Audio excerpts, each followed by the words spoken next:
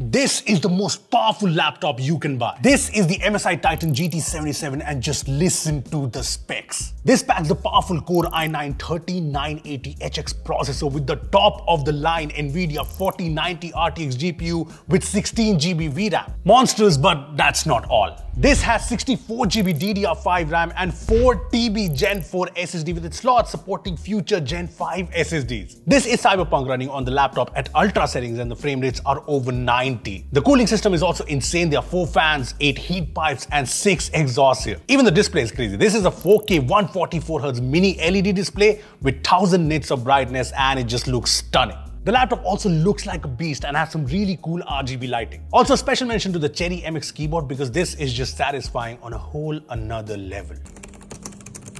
Yeah, this laptop is a complete overkill. And as for the price, this costs just 7 lakh rupees. Yeah, no biggie.